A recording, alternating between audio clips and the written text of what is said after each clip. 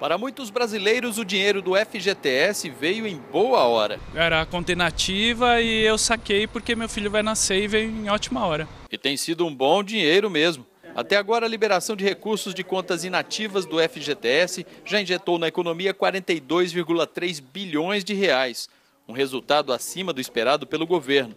A expectativa inicial, de acordo com a Secretaria de Planejamento e Assuntos Econômicos do Ministério do Planejamento, era de que apenas 70% dos saques fossem efetivados, mas o volume já se aproxima de 100% e deve alcançar 43,6 bilhões de reais. Ainda de acordo com o um estudo feito pela Secretaria de Planejamento e Assuntos Econômicos, 36%, o que equivale à maior parte dos recursos, foram utilizados para quitar dívidas. E isso teve efeitos paralelos na economia, como uma redução no uso do cheque especial e do cartão de crédito no mês de abril, em comparação a março. Ana Carolina Pontes era titular de uma das 25 milhões de contas inativas do Fundo de Garantia que já tiveram dinheiro sacado desde o dia 10 de março.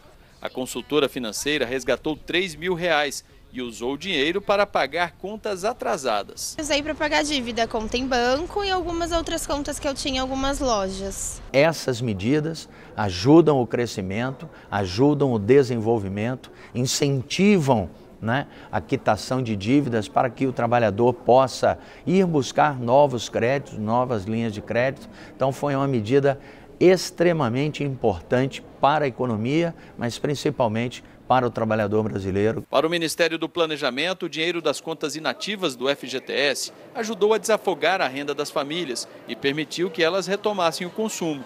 Aliada à atual redução das taxas de juros, a expectativa é de que esses impactos se estendam para os próximos meses. E se depender de Ana Carolina, isso pode acontecer mesmo.